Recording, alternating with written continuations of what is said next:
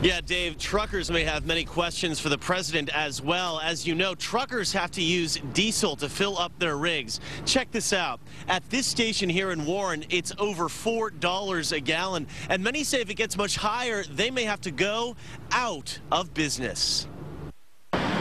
It's sticker shock on a whole other level.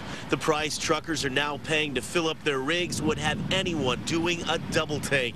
And worse, the sky-high costs could even put some out of business. To where it used to be like $1.98 a gallon when it first started. Now it's up over four, sometimes like here, 427 a gallon. Some drivers are contractors, so the money doesn't come right out of their pockets. But for those like Matt Prouse, who helps run a family business, the staggering costs fall directly in their laps. There's a lot of owner-operators that are out of the business now because they can't afford the fuel.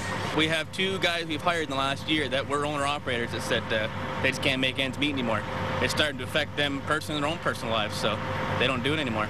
Ulrich Reichen just got into the trucking business after losing his job at a tool and die plant last year. Check this out. He says last year when he started, it cost him $11,200 to fill up per month. Now it costs about $16,000, and that's just one truck. It's tremendous. It's, it's uh, I don't know where to go with these prices. It's going to kill everybody. You know, like, what can you do? Diesel used to be 50 cents a gallon back when I was a kid. And now look at it now. Somebody's getting rich. And it's not me. It's not these guys out here. And truckers that we talked to tonight say oftentimes the companies that pay them to ship the goods that they're shipping will ultimately pass the extra cost of the fuel down to the consumer. So we can expect higher fuel and food prices down the road. Reporting live in Warren, I'm Tom Way, Channel 7 Action News.